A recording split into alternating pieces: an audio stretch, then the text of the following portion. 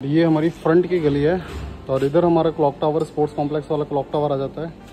इधर की तरफ़ हम मायापुर की तरफ़ निकलना है तो इधर जा सकते हो। और ये फ्रंट का एलिवेशन है। बिल्कुल लेटेस्ट इंटीरियर किया गया है और ये हमारी पार्किंग है और यहाँ से इंडिविजुअल सेपरेट ऊपर की एंट्री है। तो एक बार मैं अंदर चल के आपको दिखा देता हूँ।